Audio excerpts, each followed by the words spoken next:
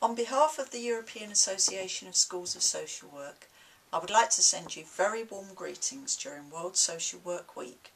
That's from the 20th of March, which is World Social Work Day, to the 26th of March, which is UN Social Work Day.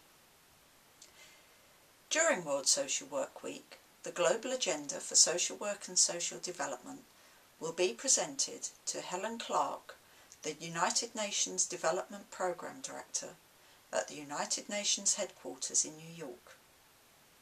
It will also be presented at the UN office in Geneva and at the Council of Europe in Strasbourg.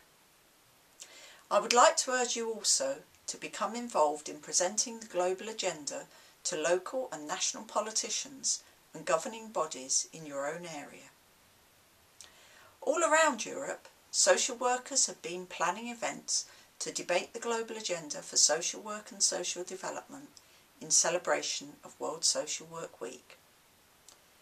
Members of the EASSW from different countries would like to send you their greetings and tell you how World Social Work Week will be celebrated in their own universities.